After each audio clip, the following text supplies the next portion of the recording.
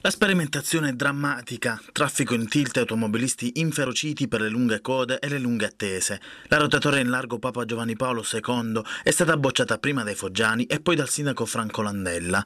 Altro che mobilità sostenibile, quindi, perché quell'installazione avrebbe prodotto solamente un accumulo smodato di traffico. Così Landella fa marcia indietro e ritira il progetto sperimentato in mattinata di martedì. Si trattava per l'appunto di una sperimentazione fondamentale per verificare sul campo l'impatto della previsione inserita nel PUMS, spiega il sindaco di Foggia. Un monitoraggio reale era dunque decisivo per comprenderne l'impatto reale sui volumi e sui flussi di traffico. Questa prova ci ha consentito di stabilire l'esigenza di rivedere e rimodulare l'ipotesi elaborata dall'ingegner Stefano Ciurnelli e contenuta nel piano urbano della mobilità sostenibile, tenendo conto delle criticità emerse nel corso della sperimentazione, ha detto Landella.